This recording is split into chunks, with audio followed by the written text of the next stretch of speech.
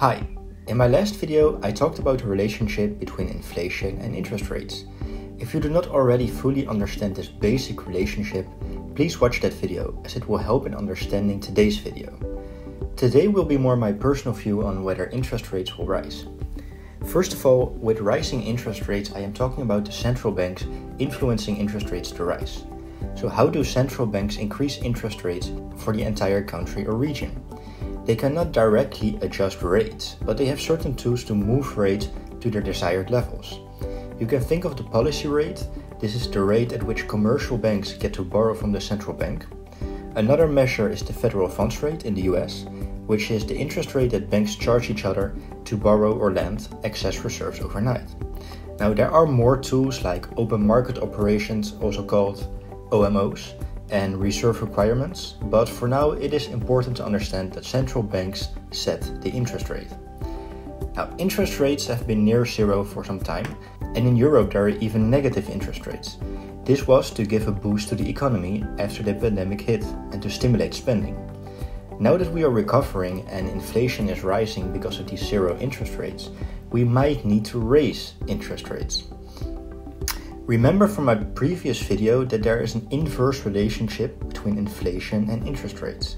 This rise in interest rates would have an effect on the entire financial system as everyone would be impacted. When the central banks target higher interest rates, the commercial banks will also set higher interest rates because they now borrow from the central bank at a higher rate. They pass these higher costs on by increasing the cost of loans to their customers. So now people like you and me are also victim of higher rates because of more expensive loans for houses, cars, land, etc. Now, there are many countries like Venezuela, Zimbabwe, Sudan, and Argentina with already extremely high inflation. Today I want to highlight the Western world more. Europe inflation was 1.6% in April, and inflation for the US was 4.2% in April year over year. I expect these numbers to rise the coming months and at least till the end of 2022, like many other economists. Keep in mind that historically, inflation around 2% has been the target for a quote unquote healthy economy, according to central banks. I expect, like many others, that inflation this year will be way in excess of 2% in the US, but also in Europe. It is difficult to give predictions, but if the governments tell you it's 5%, the real number is probably times 3. This is because of how they understate CPI, but that is out of scope for this video.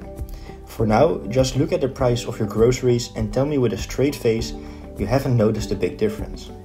Well, if we start to get worries about inflation, then we just have to raise interest rates, right? Well, that's not how policymakers are thinking about the current situation. They feel the economy and employment still need to get a boost. Inflation is their second problem, the chairman of the Federal Reserve, Jerome Powell, even says that inflation is not a problem at all, because inflation will be transitory. With this, he means that inflation will only be short lived and will soon die out because supply in the economy will catch up. In Europe, the same view holds. Uh, we do believe that inflation numbers in 21, which we will see rising, are of a temporary nature and rely on temporary factors. But then again, economic growth has been slower than in the US because of the pandemic.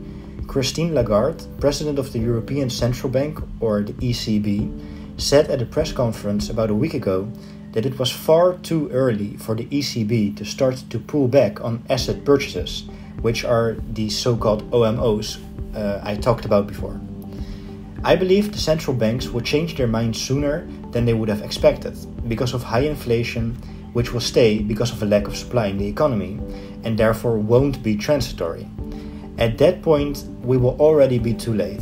Especially in the US, the central bank is cornered because of the amount of short term debt and high leverage in the entire system. An increase in interest rates of 0.5%, for example, won't do anything to suppress inflation at that time. We would need an increase of multiple percentage points, like Volcker in 1981 did with a 20% federal funds rate. But this simply won't be possible because of all the subsequent insolvencies. The Federal Reserve will raise rates eventually slightly, but in the end, inflation will win. In Europe, I expect a similar pattern, but less extreme with lower interest rates and lower inflation. Thank you so much for your attention.